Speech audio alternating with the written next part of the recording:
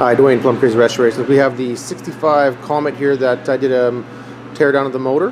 So this is the motor here. Um, what I've done is disassembled everything and we have the camshaft. Really difficult to see.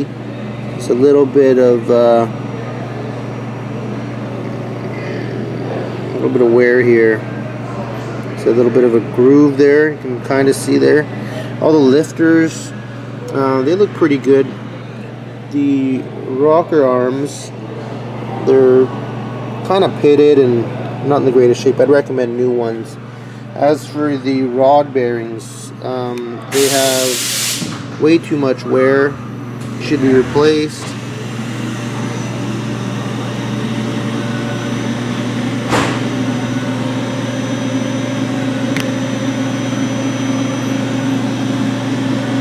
Some of them are worse than others, obviously. They don't always wear exactly the same. Then we have our um, main caps. They also have uh, excessive wear. They'll need to be replaced as well. Which brings me over to the crankshaft. And if you look at this lobe here, um, you can see this wear mark. Obviously something's gone through the motor, excessive uh, stuff, because this is where the oil comes out and that's where the wear starts. So the can or the crankshaft should be um, should be checked out, returned, and, and, if it's salvageable, then we'll reuse it. Um, the bearing caps off the piston rods, they're not as bad as the ones on the on the rods themselves, but they come in sets and have to be replaced. Next thing, um, we have the pistons. They're awfully worn on the side. Not all of them this one is this one and that one are probably the only two that are good. This is another bad one. That's number one. Number two. That's number three.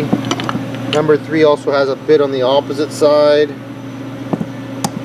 Number four is probably the worst by far. It's got it on both sides really badly. And then if we go over to the motor, have a look. You can see uh, it's actually really worn on, on the uh, cylinders themselves. So the motor is going to have to get uh, checked out from the machine shop as well.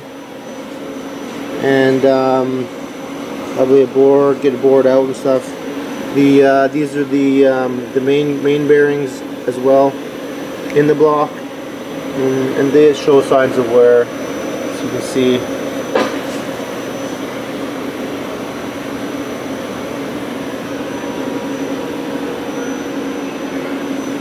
thrust bearing shows excessive wear on the, on the sides as well.